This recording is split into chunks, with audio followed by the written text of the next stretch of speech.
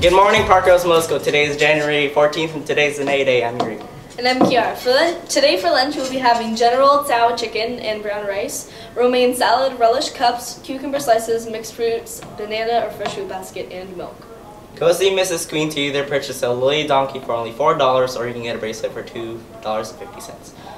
Also, don't forget about the community service hours. For every hour you do, the family gets $10. $10. Turn vouchers into Mrs. Queen. Boys intramural basketball will be, today right after school from 2.45 to 4 p.m. in the large gym. Any student who wants to play may participate. Girls uh, intramural basketball will start on February 11th. Also, intramural wrestling is all week long after school at the high school. Students, please remind your rides in the morning that the crosswalk area should not be used as a drop-off location. This causes a lot of congestion as cars are constantly stopping to let kids out. This is not convenient time-wise and it is a safety concern. Thank you for understanding and follow the guidelines in the morning. Exclusion Day is February 19th. Any student who does not have up-to-date up to date immunizations will not be allowed to attend classes as of February 19th. Students, do you need a pick-me-up?